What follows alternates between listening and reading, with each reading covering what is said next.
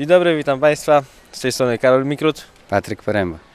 Reprezentowaliśmy Polskę na 22 Zimowych Igrzyskach Olimpijskich w Soczi w 2014 roku i chcieliśmy zwrócić uwagę na jeden mały dręczący nas fakt, którym jest obecnie stojące ruiny toru za naszymi plecami, którego mieliśmy obiecaną y, jakoś tam nie wiem, przysięgę czy obietnicę mieliśmy, że powstanie nowy sztucznie rodzony tor na Górze Parkowej, prawda? Tak właśnie. Była to obietnica złożona przez obecne władze. Jak widzimy, Patryku, chyba nic. No nic się nie wydarzyło w tym temacie. Obecne władze no, nawet nie podjęły rozmów y, w tym temacie, aby ten tor odbudować i, i na dzień dzisiejszy myślę, że tylko i wyłącznie jeden człowiek, czyli Emil Bodziony może, może wznowić tą budowę i wybudować nam sztucznie lodowany tor saneczkowy. Jak wyglądają tory, na- po których jeździmy na świecie? Gdzie są zbudowane, w jakich miejscach i nie przeszkadza w ogóle ekologom ani nikomu innemu budowa toru, na przykład Salt Lake City w y, Parku Narodowym, w którym byliśmy w zeszłym roku. Oczywiście. Tak jak widać tutaj e, e, idealnym miejscem na budowę toru saneczkowego jest właśnie to miejsce, gdzie, gdzie stoimy.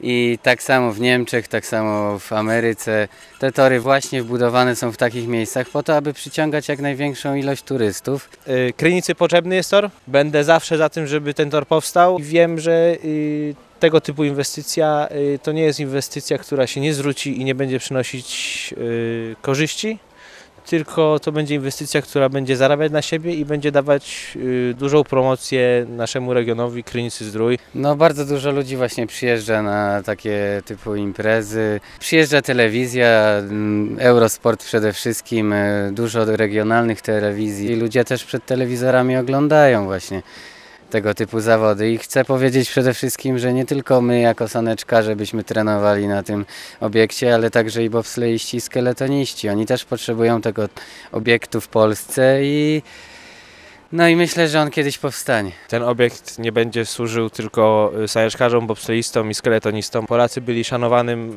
y, narodem w świecie saneczkarskim. Dzisiaj jest to troszkę już oddalone, ponieważ nie możemy liczyć na wspaniałe wyniki typu medal olimpijski czy medal mistrzostw świata bez obiektu w własnym, y, własnym kraju. My obecnie, Patryk, przyjechaliśmy na trzy, Na trzy dni do domu i później jedziemy już do Siguldy na następne treningi, a myślę, że teraz moglibyśmy spokojnie trenować w Polsce te pierwsze ślizgi przed, y, przed Pucharem Świata na własnym torze i zawsze to by było dla nas lepiej, wygodniej i przede wszystkim oddalibyśmy ich więcej. Chciałbym tutaj zaprosić wszystkich ludzi do tego, aby poprzeć kandyda- kandydaturę pana Bodzionego, bo uważam, że to jest jedyny człowiek na właściwym miejscu.